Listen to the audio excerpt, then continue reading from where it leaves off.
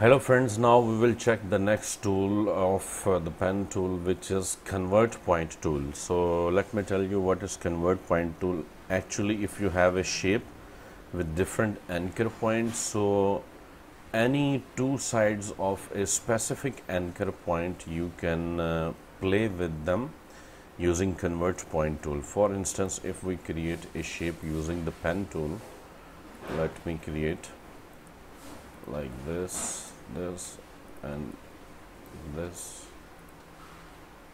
and this. Now if we fill with with a color for example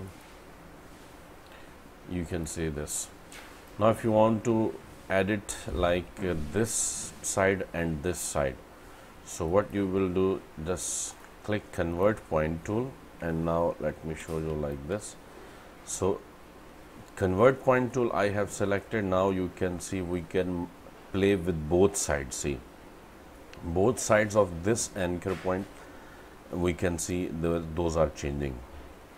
Even for example like this or if I move the mouse on opposite side you can see that will affect like this.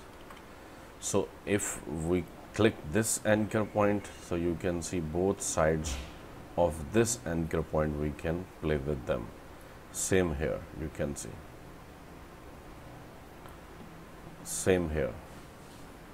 This is also a very good tool like we use it in uh, typograph uh, sorry in infographics too much. So this tool can be used like for the shapes for if you want to play with the shapes. So it's very good tool uh, that is called convert point tool. Thank you very much for watching the video